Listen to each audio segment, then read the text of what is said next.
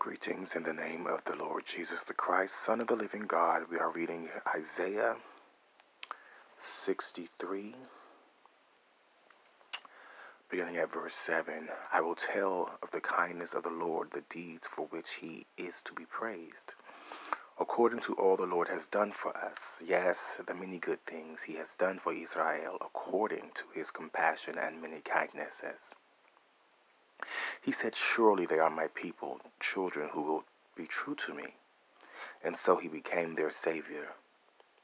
In all their distress, he too was distressed, and the angel of his presence saved them. In his love and mercy, he redeemed them.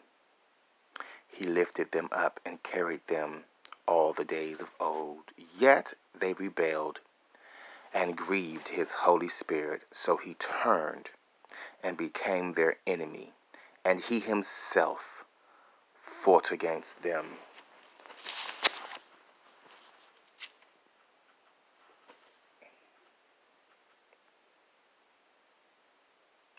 Ezekiel chapter 7.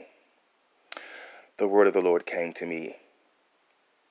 And you, O Son of Man, thus says the Lord God to the land of Israel The end has come upon the four corners of the land.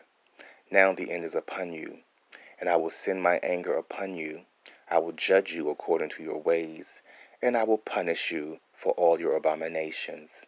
And my eye will not spare you, nor will I have pity, but I will punish you for your ways while your abominations are in your midst. Then you will know that I am the Lord.